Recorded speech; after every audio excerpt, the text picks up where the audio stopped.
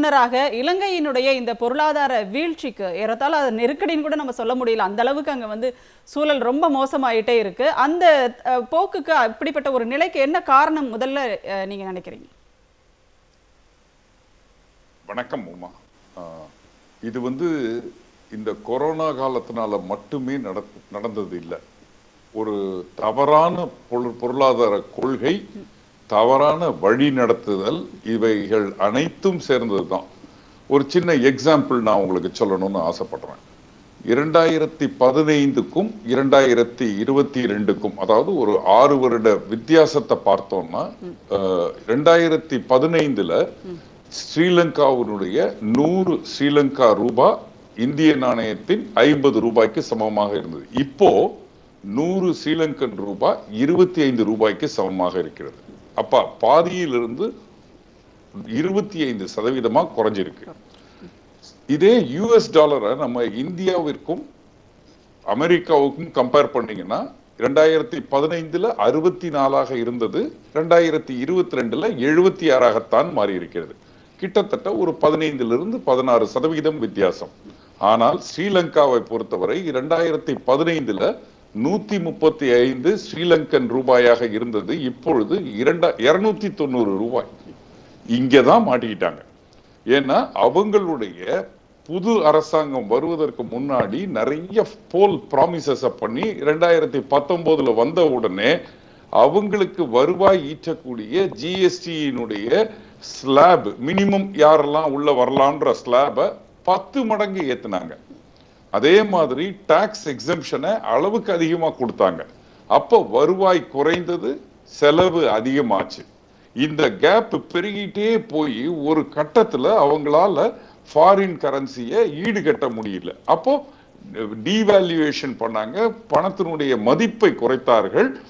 அப்படியும் மீள முடியாத ஒரு சூழ்நிலைக்கு இந்த கொரோனா காலம் அவங்கள தள்ளித்து.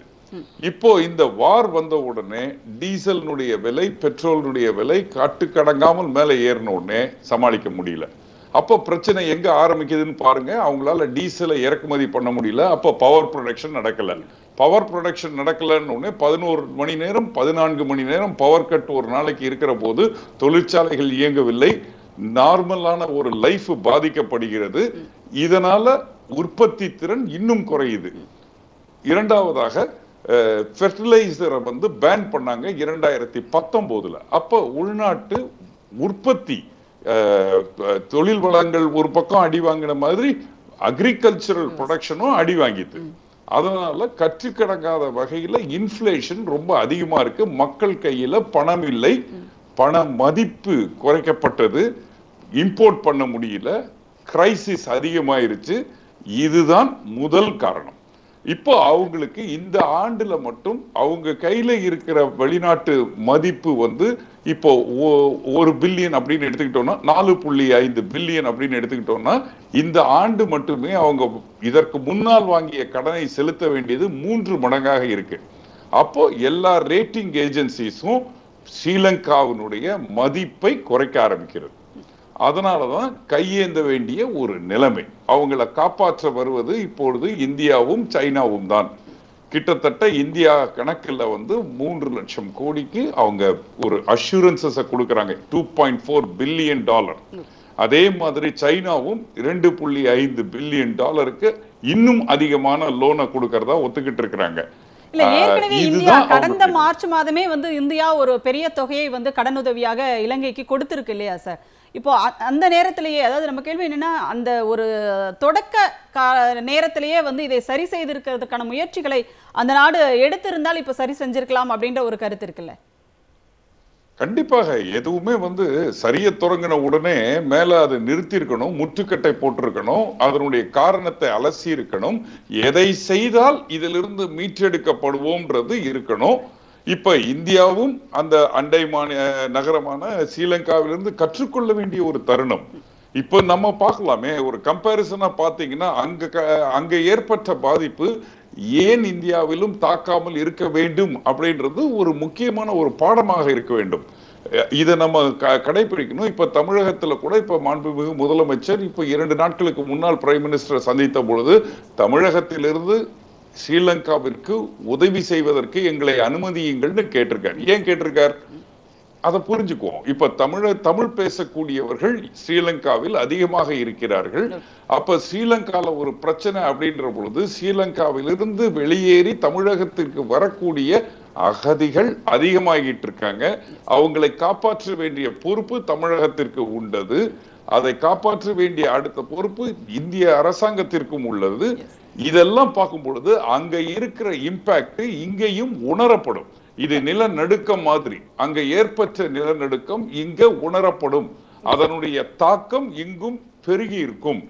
ஸ்ரீலங்காவுல என்ன முக்கியமான பிரச்சனை வந்தது அப்படின்னு பாத்தீங்கன்னா உமா ரெண்டு வருடமா கொரோனாவுனால அவங்களுடைய மெயின் இன்கம் இயர்னிங் வந்து டூரிசம் அந்த டூரிசம் பாதிக்கப்பட்டதுனால அவங்க கட்டுக்கடங்காத விலையில போய் நின்றுட்டாங்க. இதுதான் பிரச்சனை. இப்போ இவ்வளவு பெரிய ஒரு கடுமையான ஒரு பொருளாதார வீழ்ச்சியிலிருந்து அந்த நாடு இலங்கை மீண்டு எழுவதற்கான சாத்தியக்கூறுகள் அப்படிங்கிறது எவ்வளவு இருக்குன்னு பார்க்குறீங்க? எத்தனை சதவீதம் அதற்கான வாய்ப்புகள் இருக்கிறது? ஏன்னா பொருளாதார நிபுணர்கள் எல்லாம் சொல்கிறத பார்த்தா ரொம்ப அச்சமாக இருக்குது ஒன்றுமே பண்ண முடியாது அப்படிங்கிற அளவுக்கான ஒரு சூழல் அங்கே இருக்கிறதா பார்க்குறாங்க. எப்படி பார்க்குறீங்க? இதை எவ்வளவு சதவீதம் இருக்குது அவங்க மீள்வதற்கான ஒரு வாய்ப்பு? உமா விரலுக்கு தகுந்த வீக்கம் இருக்கணும். அதை மீறி போச்சு. அப்போ விரலை எடுக்கிறதுக்கு தவிர வேற வழி இல்லாம போயிடுது. இத மாதிரியான கிரைசிஸ் மேனேஜ்மெண்ட் அல்லது சிக் யூனிட் ரிஹாபிலிட்டேஷன் அப்படின்றது வந்து மிக கடுமையான ஒரு காரியம். அதை செயல்படுத்துறதுக்கு ஒரு நிபுணத்துவம் வேணும். இப்போ இந்த நேரத்துல நம்ம ஒரு விஷயத்தை கவனிக்கணும். கிட்டத்தட்ட இதே மாதிரியான ஒரு சூழ்நிலையில தான் தமிழகம் இருந்தது. ஒரு ஒரு வருடத்திற்கு முன்னாடி சொல்றேன் நான். அப்போ வந்து எல்லாருமே கேட்டது நம்ம மாண்புமிகு நிதியமைச்சர் பிடிஆர் பழனியல்ராஜன் எலெக்ஷனுக்கு முன்னாடி கொடுத்த சில ப்ராமிசஸை இன்னும் காப்பாற்றவில்லையே ஏன் என்று கேட்டபோது அவர் கொடுத்த பதில் வந்து நிதி நிலைமை மோசமாக இருக்கிறது. கொஞ்சம் வெயிட் பண்ணுங்க இதை சரி செய்துட்டு தான் நான் கொடுப்பேன்னு. இதுதான் வந்து வித்தவுட் எ ஈகோ செயல்படுத்த வேண்டிய கட்டாயம் ஒரு டாக்டருக்கு இருக்கு. அதை வந்து பண்ண தவறுனதுனால தான் ஸ்ரீலங்கா இந்த நிலைமையில இருக்கிறதுக்கு காரணம். வெறும் வீம்புக்காக நம்ம வேலை செய்யறது வேற அல்லது எது சரியோ அதை செய்வது வேற. இப்போ அவங்க பண்ண வேண்டியது ஒன்னே ஒண்ணுதான். ஃபர்ஸ்ட் எங்கிருந்து ஆரம்பிக்கணும் இத அப்படின்னு பாத்தீங்கன்னா முதல்ல தலைமை பண்பு மாறணும். அது இன்னைக்கு இப்ப பார்த்துருப்பீங்க நியூஸ்ல உங்க டிவிலேயே ஓடிக்கிட்டு இருக்கு. பிரைம் மினிஸ்டர் ரிசைன் பண்ணிட்டார். அடுத்தது பிரசிடென்ட் ரிசைன் பண்ணுவார்னு எதிர்பார்க்கப்படுகிறது. மக்களுடைய போராட்டம் வலுப்பெற்று கொண்டிருக்கிறது. முப்பத்தி ஆறு மணி நேர ஊரடங்கு எமர்ஜென்சி அங்க டிக்ளேர் ஆயிருக்கு. ரிசைன் பண்ணாரு. அதை வந்து அதிபர் வந்து நிராகரிச்சிட்டாரு அப்படின்னு ஒரு செய்தி இருக்கு. அது அது அடுத்தது வரும். இனிமேல் வேற? வழி இல்ல. அந்த அந்த இடத்துக்கு வருவதாகத்தான் கேள்வி எங்களுக்கு. பிரதமர் ரிசைன் பண்ணிட்டு அவர் பிரசிடென்ட் ஆவதாக இருப்பதுதான் முயற்சிக்கிறார் அல்லது அதுதான் பேக்ரவுண்ட்ல ஓடிட்டு இருக்குன்றது எங்களுக்கு வந்த தகவல். இரண்டாவது வந்து இன்கம் அதிகப்படுத்தணும். இன்கம் அதிகப்படுத்தணும்னா எப்படி அதிகப்படுத்த முடியும் இன்கம் அப்படின்னாக்க தொழில் முனைபவர்களை காப்பாற்றப்பட வேண்டும் தொழிலை காப்பாற்ற வேண்டும் உள்நாட்டு தயாரிப்புகள் அதிக அளவில் வெளிநாட்டுக்கு ஏற்றுமதி செய்யப்பட வேண்டும். அதே மாதிரி வெளிநாட்டு முதலீடுகளை ஈர்க்க வேண்டும். இங்க நம்ம கவனிக்கணும். தமிழக முதல்வர் ஏன் துபாய் போனார்? ஏன் வெளிநாட்டு முதலீடுகளை ஈர்க்கிறார் என்பது இதற்கெல்லாம் பதில் கிடைச்சிட்டே வரும். நம்ம என்ன பண்றோமோ அதை அவங்க காப்பி அடிச்சாலே சீக்கிரமா மீண்டு வருவார்கள். சார் ஒரு மாநிலத்தை வந்து ஒரு நாட்டோடு ஒப்பிடுறதுன்றது சரியா இருக்குமா? ஒரு மாநிலத்தினுடைய size is the same. The size is the same. The people's way of thinking is the same. Culture is the same. தமிழகமும் ஸ்ரீலங்காவும் ஒன்றுக்கொன்று முரண்பாடான ஒரு மாநிலங்களோ அல்லது நாடோ இல்ல. கிட்டத்தட்ட ஒரே அமைப்பு உள்ளது. இது கத்துக்கிறது எங்கிருந்து வேணாலும் கத்துக்கலாம். கத்துக்கிறதுக்கு சைஸோ வயசோ தேவையில்லை. எது நல்லதோ அதை கற்றுக்கொள்வதற்கு பக்குவம் தான் வேணும். பட்ட அடியிலிருந்து மீளணும்னாக்க எங்க இருந்து- எங்க நல்லா நடக்குதோ அந்தந்த இடங்களிலிருந்து சில சில கருத்துக்களை எடுத்துக்கொள்வது நலம். இப்போ அவங்களுக்கு தேவை அதுதான். பீப்புள் கிட்ட பணம் இருக்க வேண்டும் பொருட்களின் தட்டுப்பாடு விலக்கப்பட வேண்டும் இருக்கிற கடன்களை அதிகமாக மறுபடியும் நெகோஷியேட் பண்ணி இன்னும் கொஞ்சம் டைம் வாங்கி ரீஷெடியூலிங் பண்ணணும். அதே மாதிரி நாட்டினுடைய பண இழப்பை பண மதிப்பு இழப்பதை இப்போ மறுபடியும் மீட்டெடுக்க வேண்டிய ஒரு கட்டாயத்துல இருக்காங்க. டூரிசம் ஒரு சைடுல பில்டப் பண்ண எங்கிருந்து ஆரம்பிக்கிறது? இப்ப கேன்சர் உடம்பு மொத்தம் பரவிருச்சு. இதை குணப்படுத்துறதுன்றது அவ்வளவு சாதாரண விஷயம் இல்ல. அதுதான் நான் சொன்னது முதல்ல ஒரு நல்ல டாக்டர் வேணும்னு சொன்னேன். அந்த டாக்டர் அவங்க கிட்ட ஐடென்டிஃபை பண்ணாதான் இதை செயல்படுத்த முடியும். அதுதான் நாங்க பண்ண வேண்டிய முக்கியமான வேலை இப்போ. கண்டிப்பா சார். நன்றி நன்றி சார். நிகழ்ச்சியில கலந்துக்கிட்டு ரொம்ப அழகாவும் தெளிவாகவும் ஒரு ஒப்பீட்டளவில் வந்து ரொம்ப எளிமையா புரியுற மாதிரி உங்களுடைய கருத்துக்களை எங்களோடு பகிர்ந்துக்கிட்டீங்க மிக்க நன்றி இந்த நிகழ்ச்சியில் கலந்து கொண்டமைக்கு.